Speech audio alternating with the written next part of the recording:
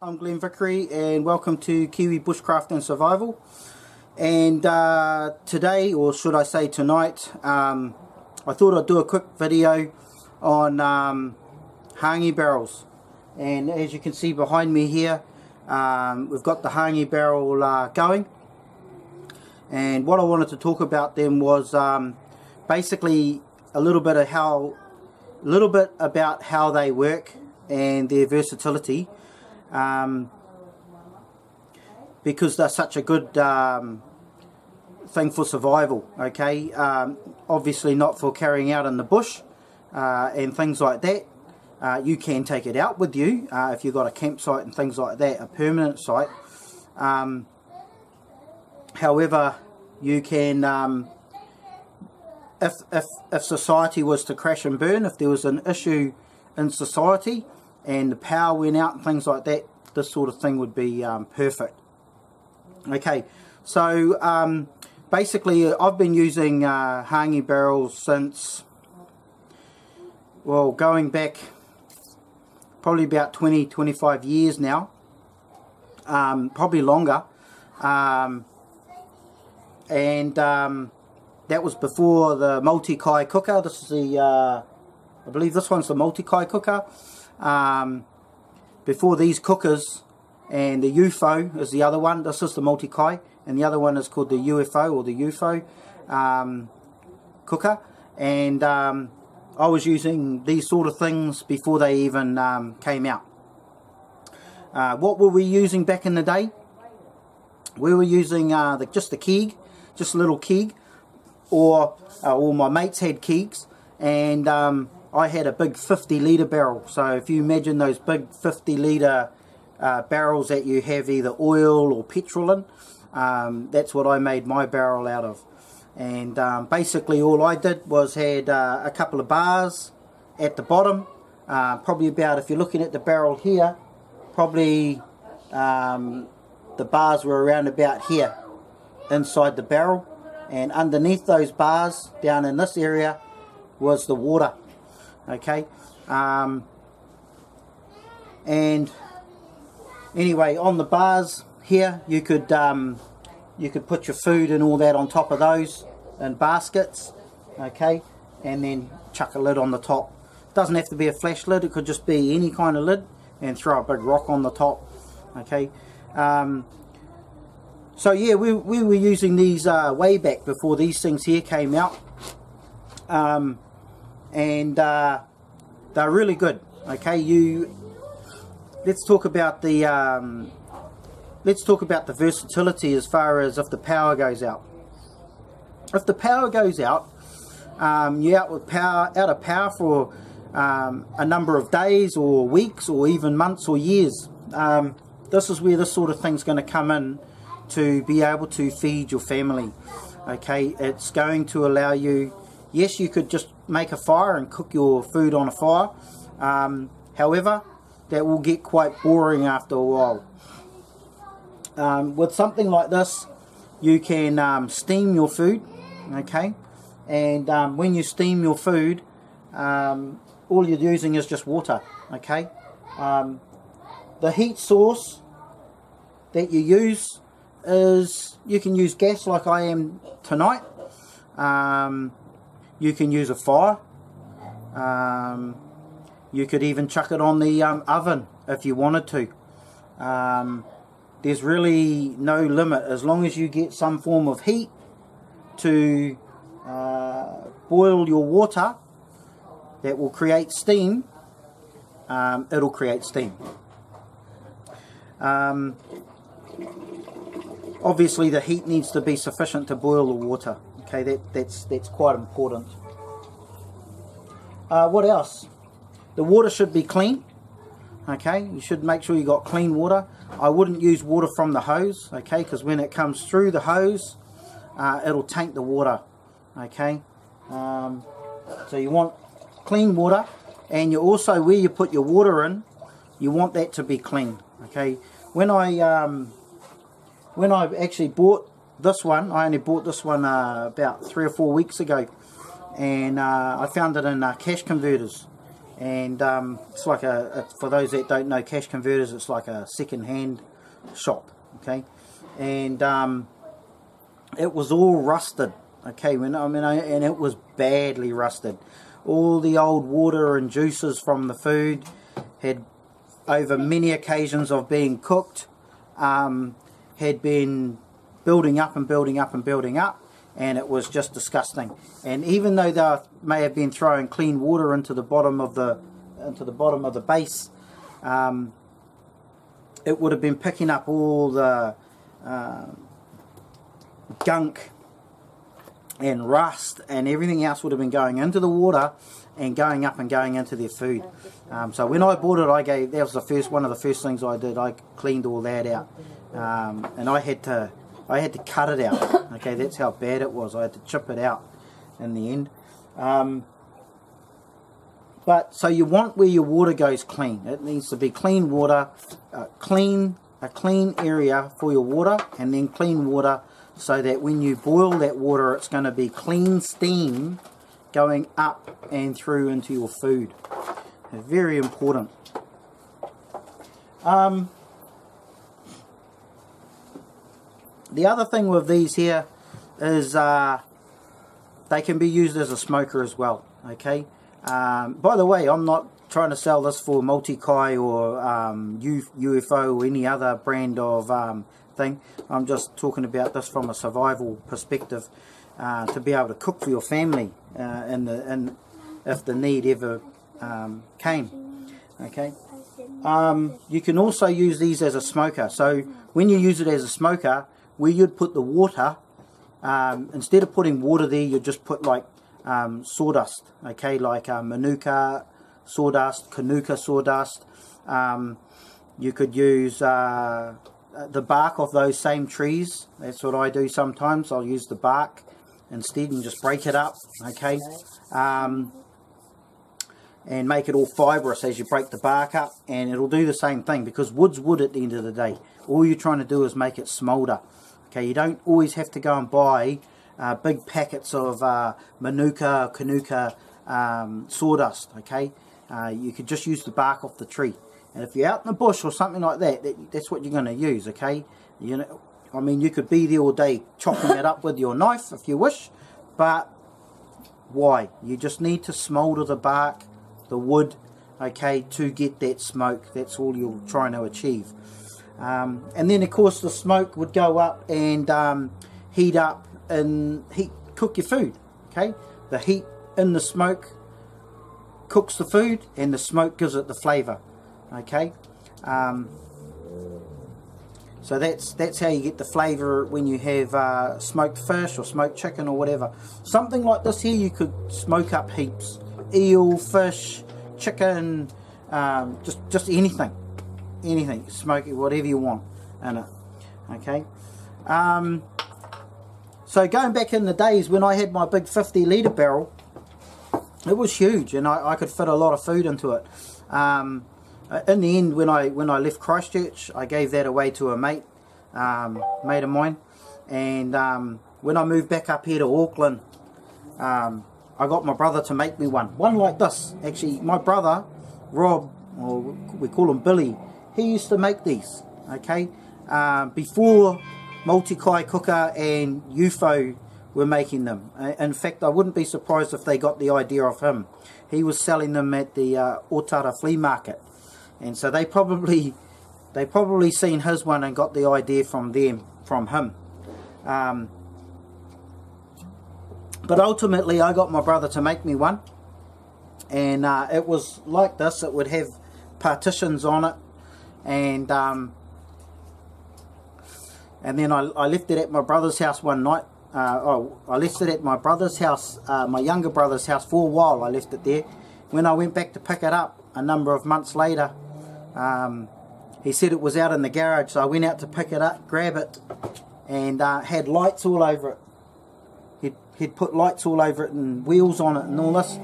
So I went back inside the house and I says, hey, what have you done to my um, my hangi barrel? And he goes, oh, I've turned it into a robot. And I was like, hey? He goes, I've turned it into a robot. And I said, why? And he goes to me, um, he goes, well, I, I had this idea I might turn it into a robot and I could take it down to the um, the shopping malls and, and, and I could put a microphone uh, speaker in it and I could talk to the kids and remote control and, and do like advertising and things like that. And I was like, but you turned my hangi barrel into a robot. And he goes, yeah, I know, cool, eh? Cool, eh, bro? I says, nah, bro, not cool. Alright, so in the end I just left that because it had holes in it and he'd put lights in it and all sorts of stuff and it was just, it was head, head munted it pretty much. So anyway, Merv, um, thanks for that, bro. Um, I've been out without a hangi cooker for um, a number of years now until I seen this one at um, Cash Converters and I bought it for I think it was $300 yeah $300 I got it for 300 bucks. And um, yeah that was a good score really. Gave it a good clean up fixed a few things on it and um, now we're into it okay? Um, and this is the first night actually that we've um, started cooking in it. And um, so we're hoping it's going to turn out quite nicely I have a little trick that I use um, for getting the flavour um, in the uh, hangi barrel. And um, it's something that I've kept in the family uh, as family knowledge for quite some time. Um, and a lot of people think they know how to uh, get the flavour um, of a hangi in a barrel, but they don't. And um, people have all sorts of ideas and things like that, but um, none of them that I've ever heard, they, they don't know how to do it. They don't know how it works. They don't understand it. Um, but the basics is, when you cook in the ground, when you cook a hangi in the ground, the flavour is different. Okay, you'll, you'll cook it in the ground, when you pull it out and you eat it, you it, the, the food tastes like hangi. Okay, that's what it's called hangi, but it tastes nice. It's got a certain flavour to it. In a barrel, when you just do it in a barrel naturally, if you don't put anything in the barrel, okay, and you just use uh, water and steam it, you will um, just have steamed food, okay? Um, that's all you're going to have. It's just going to be steamed food. You're not going to have the flavour that it gets from the ground. Now, I'm going to I'm going to pass on um, my knowledge uh, to my viewers, uh, mainly my subscribers now. Um, something that I've, I've I've kept to myself for many years, probably about a good 30 odd years I've kept to myself. And I'm 46 now. Okay, so probably not, not since I was probably 16, maybe since I was about 20. So close to 30 years, okay? And I'm going to tell you the secret to um, getting the flavour in the barrel here that you would normally get from the ground. And I'm going to tell you why as well. And uh, this has been a fa uh, family secret of mine for many years. Uh, there's not many people that know this. So anyway, could you grab me another beer please? So anyway, let, us um, go. When I do tell you the secret to this, I'm going to tell you how it works as well. Okay, and I'm going to reference it to the uh, traditional hangi. And uh, I just want to say one thing before I do tell you. This is actually very, very difficult for me to tell because it's a, it's been a family kept secret for a number of years. And I figured it out many, many years ago how to get the flavour in a barrel that you have in the ground. And before I actually uh, tell you the secret, I'm going to tell you a little story my uncle Noel, he uh, he loves he lives up in um, up north in uh. For those those that know where is, beautiful place up north. And um, he came down to Auckland one time for a celebration that I was having, and uh, I was doing up a hangi in, in a hangi barrel that I had. And um, in fact, it was the hangi barrel that, I, that my brother turned into a robot. Anyway, I, I was doing it out the back of the house. I dug a hole, chucked the hangi barrel over it. I made a fire, fire in the hole, cooked the hangi, did it with my secret, uh, secret, uh, I don't know if you would call it a recipe, but my secret, uh, my secret. And um, he's been doing hangis all his life, in the ground. Anyway, I pulled the food out, put it on the table. He turned up with all the other whānau, and he sits down and he's having a feed, and then he says to me, who cooked this? And I says, I did, uncle. And he goes, um, he goes, it's beautiful. It's beautiful. He goes, where did you cook it? And I said, I cooked it out the back of the house. And he goes, oh, oh, okay. Can I come and have a look? And I said, yeah, sure. I cooked it in the barrel though. And he goes, hey? We got out, got out the back. And he seen the barrel there and he goes, um, he goes, so did you cook it somewhere else and then bring it back here and put it in the barrel? And I said, no, no, I cooked it in the barrel. And he goes, no, no, you must have cooked it somewhere else in the ground and brought it back here and put it in the barrel, eh? And I says, no, no, I cooked it in the barrel. And he goes, you can't have because it's got the same flavour as being done in the ground. He goes, I've been cooking hangis all my life. He's 65 now. He goes, I've been cooking hangis all my life in the ground, and this is done in the ground. And I says, no, it wasn't. It was done in the barrel. And he goes, you can't make the food taste like that in a barrel. It has to be done in the ground. And I said, it can be done in the barrel, and it can taste like it's been done in the ground if you know what you're doing, if you know the secret. And he goes, no, no, no, no, no, no, no, no, you can't. You can't do it. And, and I said, yes, you can. I said, I figured it out years ago. Anyway, I said, I'll tell you what, Uncle, you're whānau, I'll tell you. So I, I told him, and I'm going to tell you now as well.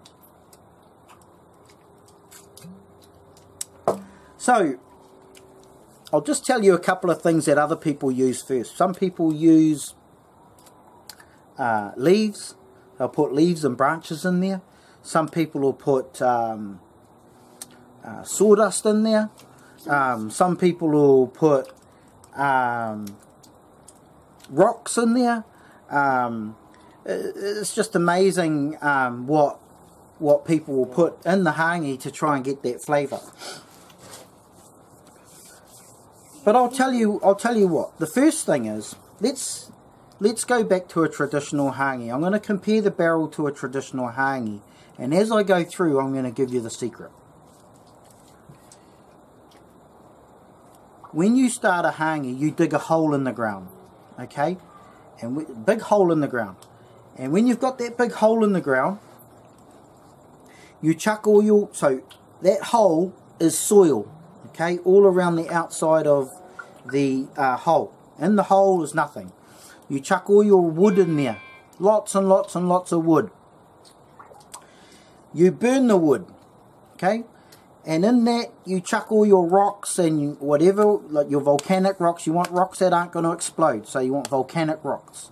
Don't use rocks that you use from a riverbed or something like that because they can explode, okay and if they explode and shatter and go into you, it's dangerous.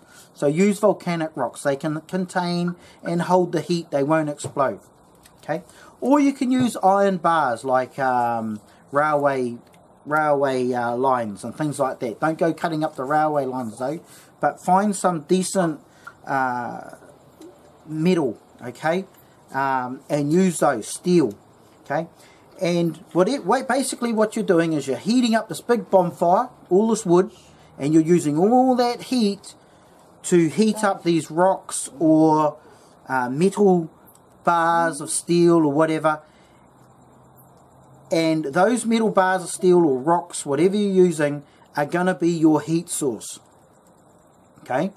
And what we do is once you've burnt them really, really hot, they've got to be piping red hot okay if you don't burn them hot enough when you actually put your hangi down and everything else those those they haven't those rocks or the metal hasn't got enough heat in it to cook your food.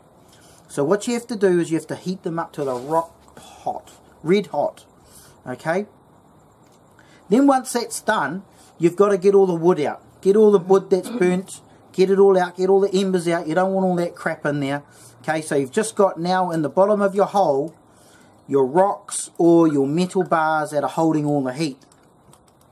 Okay, the next thing you're going to do is you're going to start putting in your food in a traditional hangi. You're going to put put all your food in some baskets, okay, and put the baskets over the top of these uh, rocks. So you've leveled all the rocks on that out, leveled all your bar, metal bars out, and you place your food on top, okay?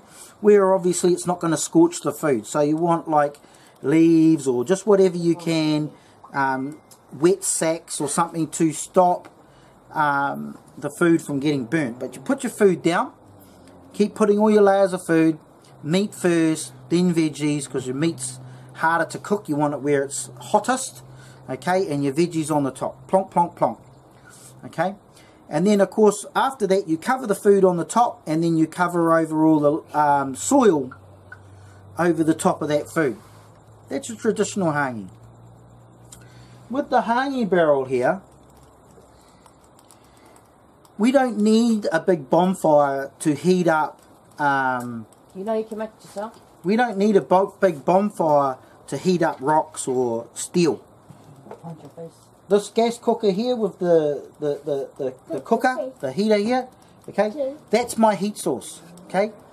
Um, the heat heat here is going to heat the uh, water, okay. And so when you've put the food into the hangi, one other thing we've got to do, we spray a bit of water over the food, okay, um, and that, that water over the food drink, drips down to where the um, the uh, rocks in that are, or the metal bars, okay, and because they're so hot, when the water hits them, they create steam, and psh, the steam comes up, and that hot steam goes up and through the food, cooks it.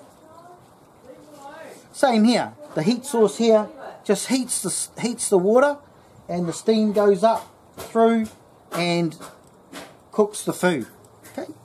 Now when you've got something where the, the, the steam goes up and cooks the food and the steam go in the traditional hangi the steam goes up and cooks the food.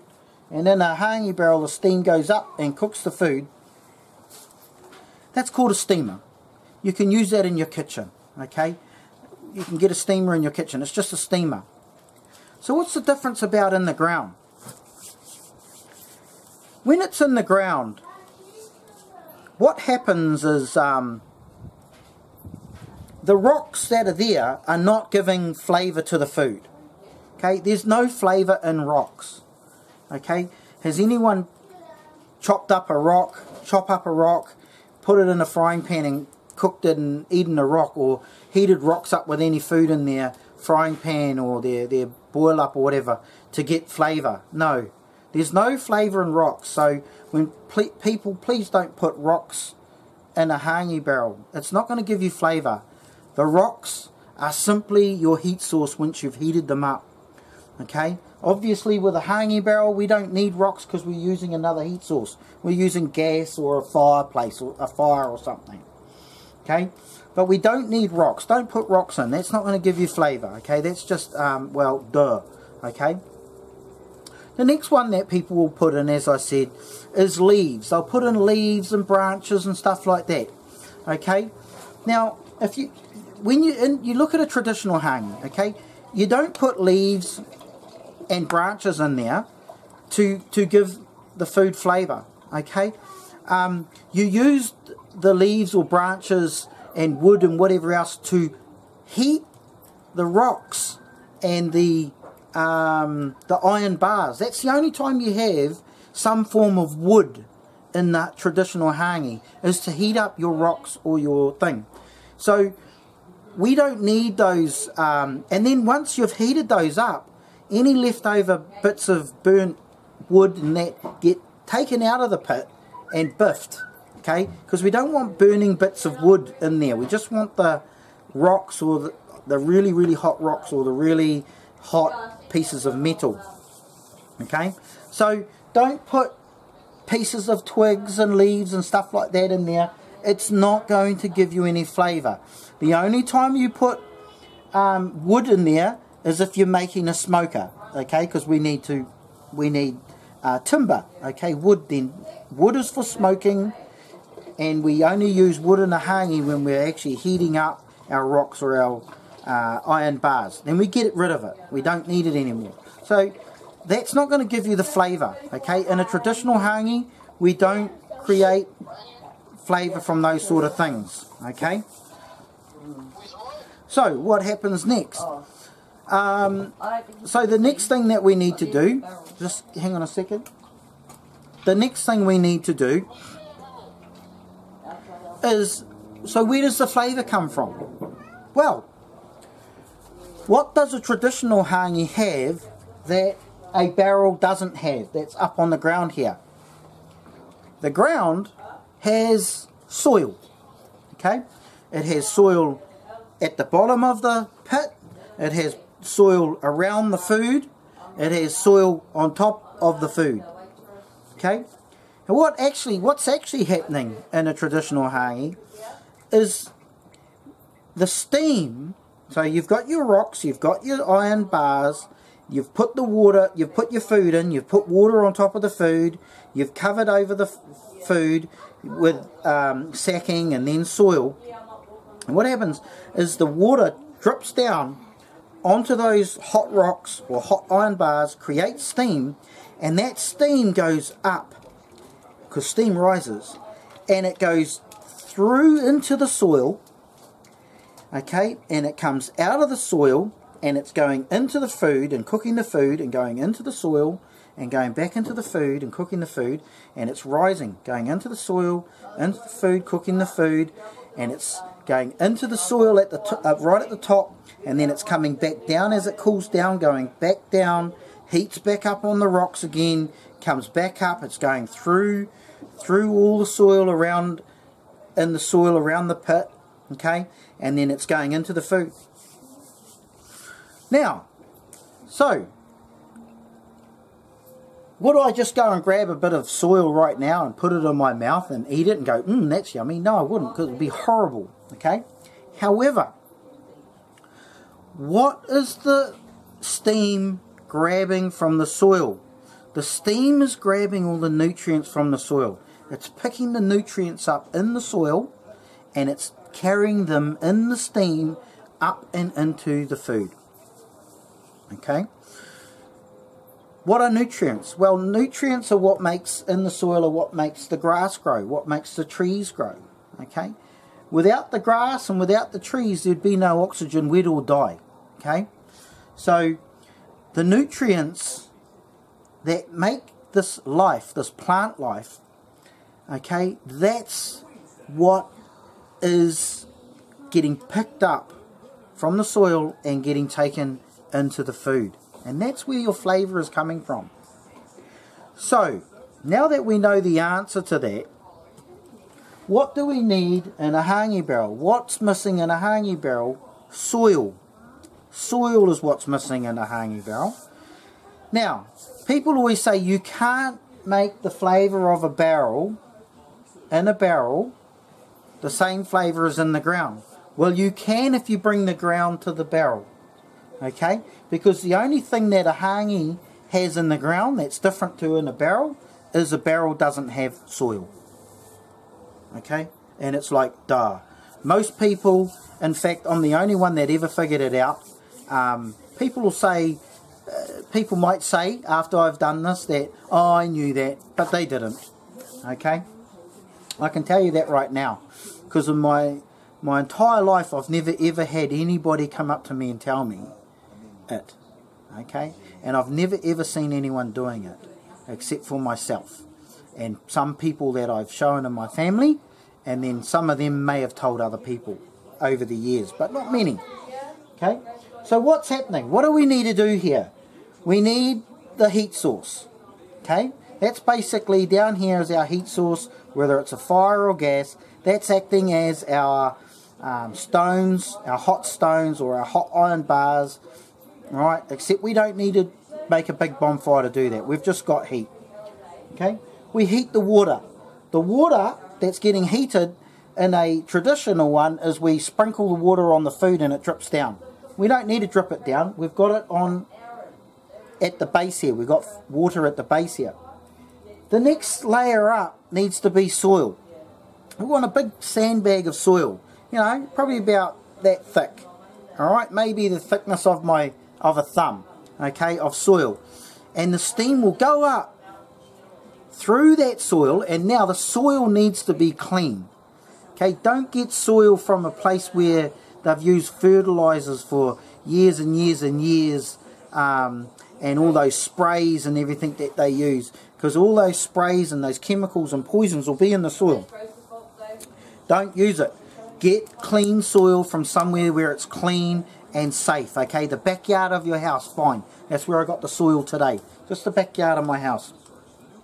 Just dig down, take out any weeds, take out any rocks and stuff like that. Okay, you just want the soil because that's where all our nutrients are. That's where all the good, the goodness of the soil is. Okay. Just like in food, the food when we eat normal food, eat a pear or an apple, we eat it, we're gathering all the, taking all the nutrients out and it's going into our blood and feeding our body. It's the nutrients that the body sucks out of that food, okay? Anything else is waste that gets thrown out, okay? So, the, the steam will go up through that first bag of um, soil, okay? Go into our food, okay? Steam will keep rising. Then I'll have another bag of soil at the top, right at the top here, okay? Right at the top. The steam will go through into the top, cool down, where here, go into the top, cool down, drip back, drift back down, heat back up at the heat source here, alright, and then go back up through the soil again, back up through the food, taking all those nutrients into the food, cooking the food at the same time, reaching the top soil, grabbing more nutrients, bringing it back down, okay, as it's cooling down, still still cooking in there, okay?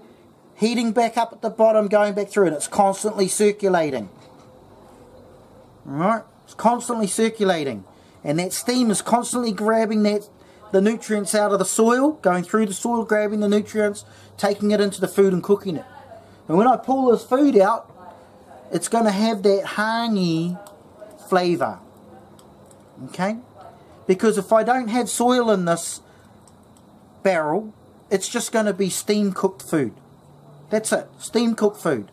It'll still be nice, it'll still be cooked, it'll still be yummy, it'll still be uh, hold the, all the nutrients of the, the actual food that the food already had in them. It'll still be lovely to eat, but it won't be hangi, it won't be like it's been cooked in the ground. Okay, so this is just a little bit of a um, a secret that I've been wondering when I should when I should release this um, information that I've had all my life. And I thought, you know what, you, you can't take this knowledge with you. And it's one bit of knowledge that I've kept for a long, long, long time that I've only shared with some very, very close people.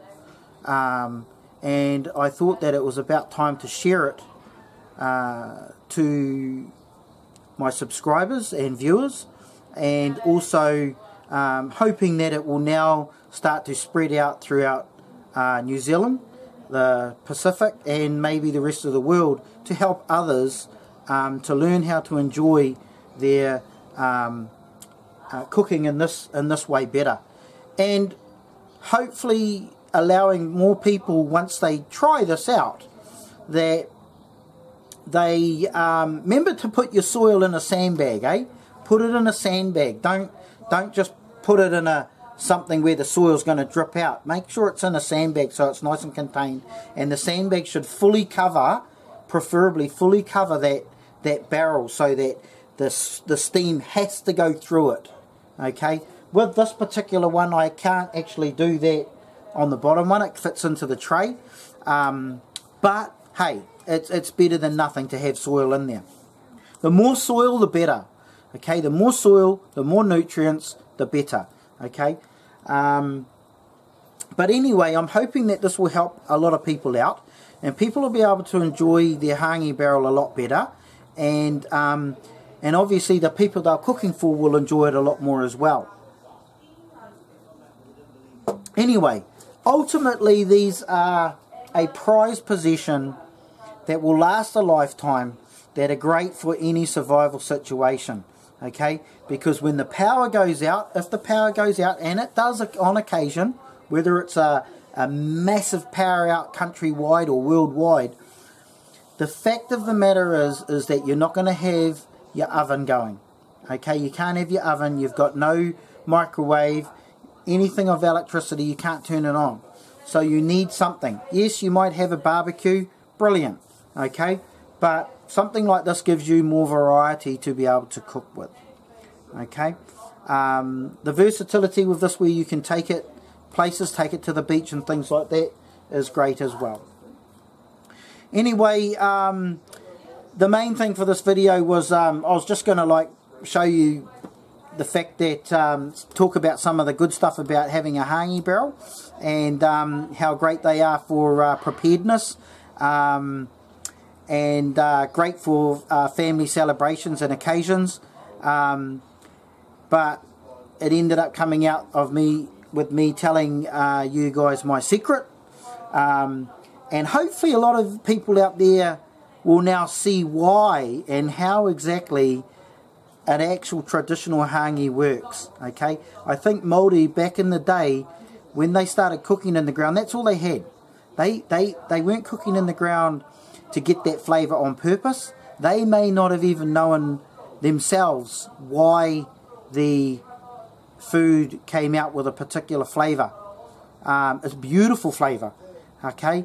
Um, they may not have known themselves and I doubt they probably did okay? But that is how it works. That is how you get the flavour.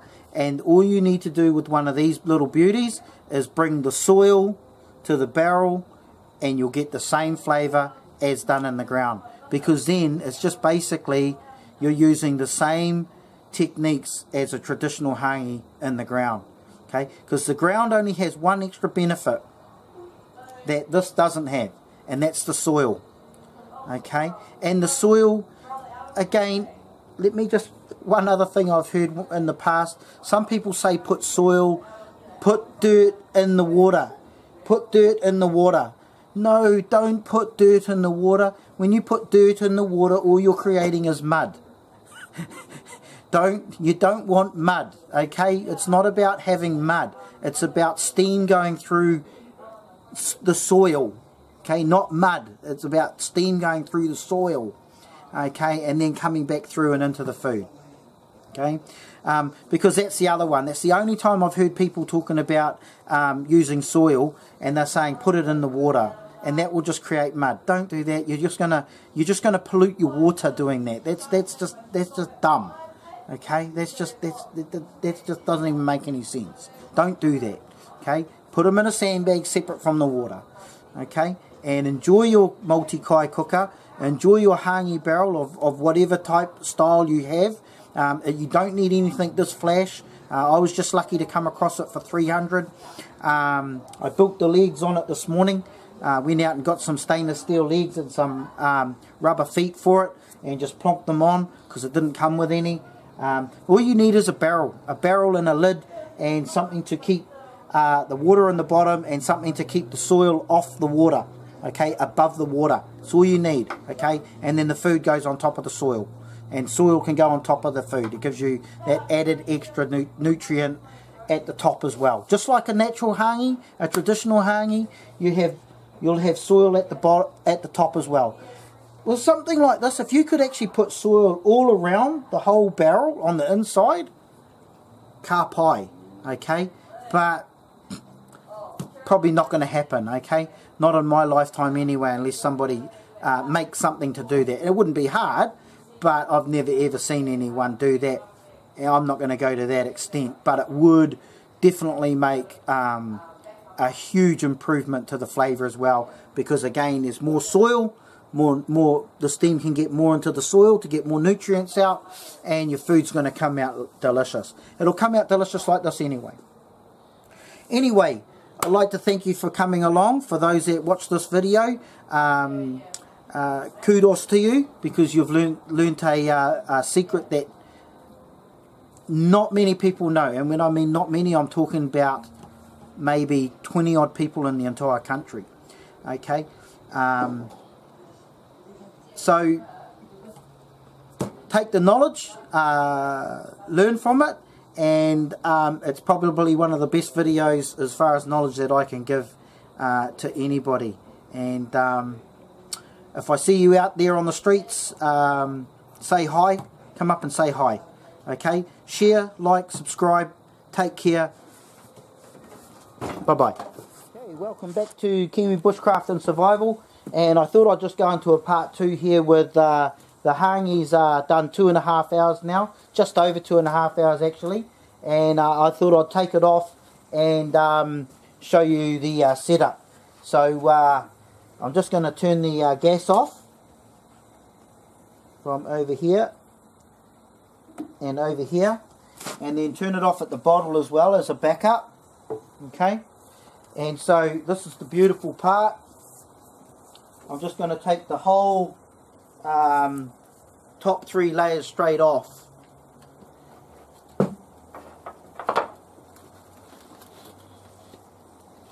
so that you can see the um, setup that I've got. Hopefully it doesn't fall on me.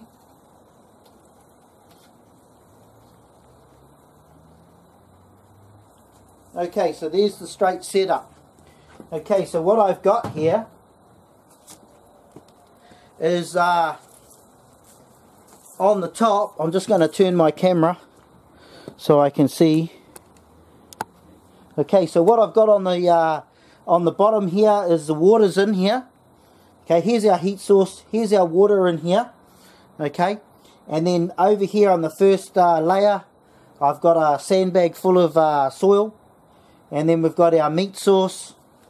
Meat sauce with some veggies. Veggies in here. Um, mutton cloth. Okay. And then we've got another bag of uh, soil on the top here. Okay. And under this bag of soil, I've got about three or four extra layers of bags of soil, uh, correction, um, hessian or sandbag, just to stop the soil from going in. So the steam was going through this one, up into the meat. So going, the steam was going through this soil, up into the meat, up into this soil, coming back down and constantly flowing to get that flavour in there. Okay, and you can smell it's beautiful. Now the good thing here is I'm going to take this off and then um, at the end of the day, if this wasn't cooked, I could just chuck it straight back on and carry on cooking. But it is cooked, okay?